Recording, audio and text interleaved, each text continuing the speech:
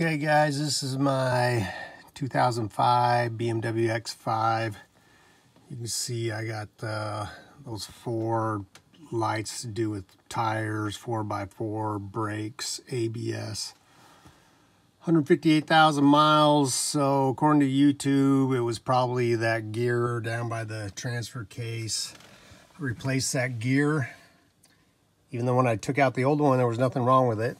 So that didn't help lights stayed on. So then I started INPA and I'd go for a drive.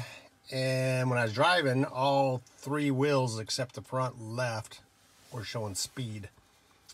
So I switched the speed sensor right to left and it's still, the problem was still on the left.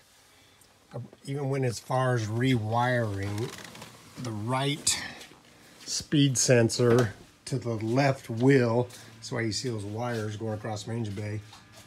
And even rewiring so that the right sensor was going plugged in under the wheel well here to the left wiring. It still said the problem was in the left wheel. So down here, this is supposed to be the anti-lock brake module. Take out the uh, air filter box, you can get to this. Pull this up. You can unplug the wire.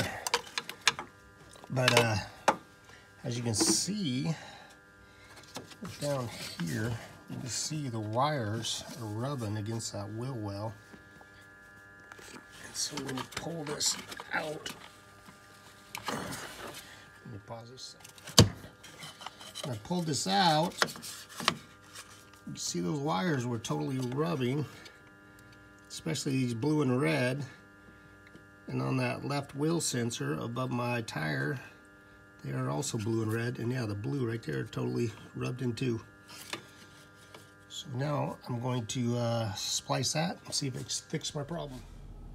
And wire has been replaced and all lights are off. Yep, all the wheel speeds are working again. Sorry for the glare.